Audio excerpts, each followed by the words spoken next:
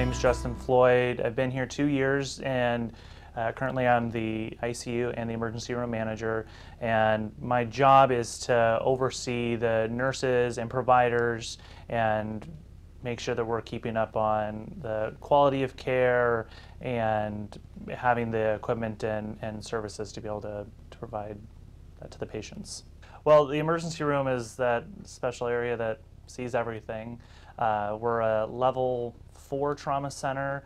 Uh, we see a whole gamut of problems and issues and diagnoses and everything you can see, we see. so we're in the middle of expanding. Uh, should be done with half half of it in August, but uh, we're going to be going from 12 beds to over 20 beds um, when when it's all said and done, which is hugely needed.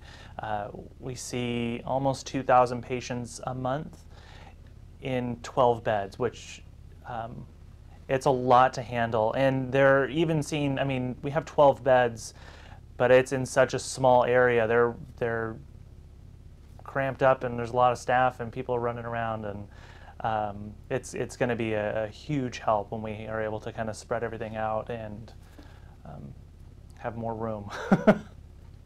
with medicine, everything changes so much. Um, there's always new things coming out, new ways to help patients. Um, there's you know always new equipment coming out that helps us take care of patients just that much better, provides safer care to them, provides safer uh, working place for the staff as well. So. Uh, being able to have the, the best and newest equipment out there keeps us um, up to date with what all the big medical centers are doing as well. So that way, whether you come into a rural emergency room like ours or go up to a big medical center, you're still getting the same care.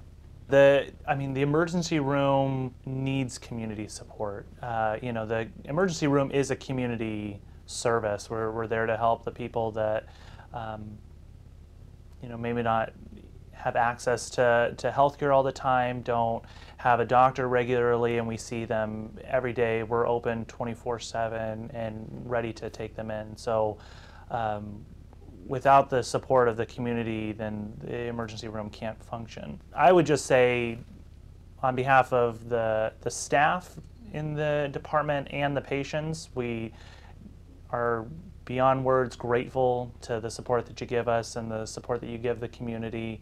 Uh, without the contributions that they've made, we wouldn't be able to provide a high quality of care like we do.